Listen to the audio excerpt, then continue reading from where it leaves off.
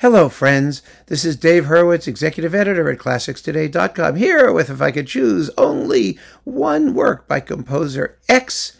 It would have to be work Kappa. Well, composer X is Charles Ives. Yes, we finally got to Charles Ives. And work Kappa, a lot of you have had recommendations, and they were good ones. Some of you suggested Three Places in New England, which I really, really love. And others suggested the Fourth Symphony, which is such a summation type of piece. And that is why I chose the Concord Sonata as work Kappa. Yes, it has to be the Concord Sonata. Why? Well, there are a lot of reasons why, and I'm going to go into them momentarily. But remember also that in this in this particular exercise, the idea is to find the work that's most characteristic, not necessarily the greatest, the most distinctive, the most this or that or other. Um, and Ives' work, his mature work, is is all pretty distinctive. Let's face it.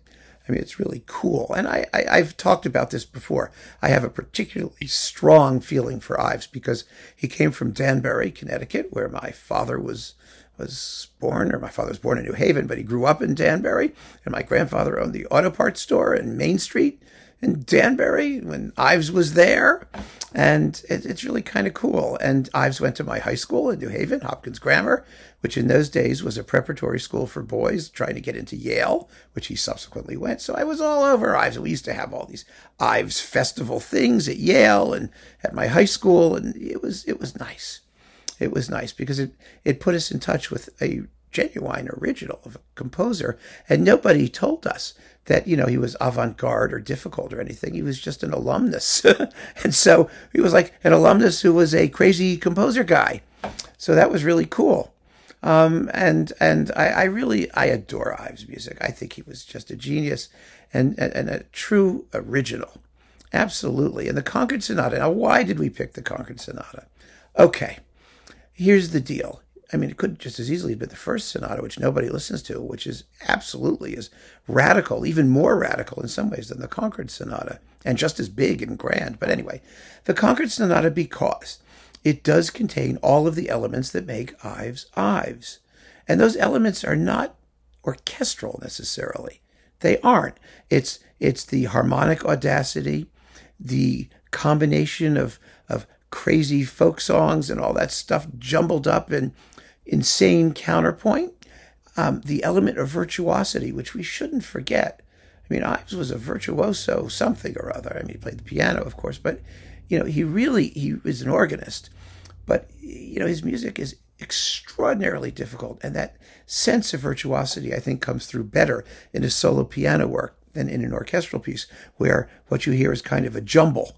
And while it may be terribly difficult to play, it's sort of jumble. But on a piano, you're like, really difficult to play jumble.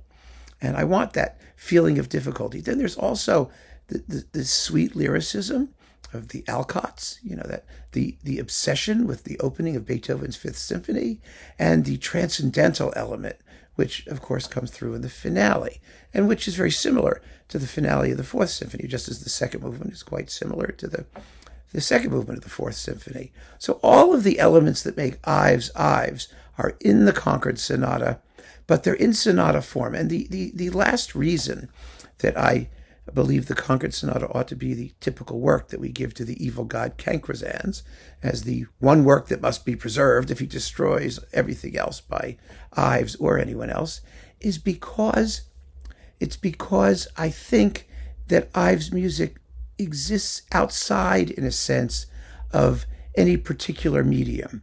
If he's restricted just to orchestral music, to orchestral stuff, it's not really it's not really fair. It's not really him. He's like Bach in that sense. He could express himself in, in any in any medium whatsoever. And I think that flexibility, that individuality, eh, that that native, naive, this is me kind of feeling um, is most pronounced in the Concord Sonata in a piece for solo piano where where he's transforming a medium which is much harder to do something really crazy and original in than with an orchestra where you've got all these players you could do all kinds of stuff with them and you know stretch them out however you want. So i think the concord sonata is the way to go and and i stand by that choice. It's just a brilliant work and a difficult work, more difficult than I think, you know, the symphonies and the orchestral pieces because it's inherently less colorful, but it is absolutely extraordinary, perhaps for just that reason. All the more so. So keep on listening, friends. Thanks for joining me. Take care.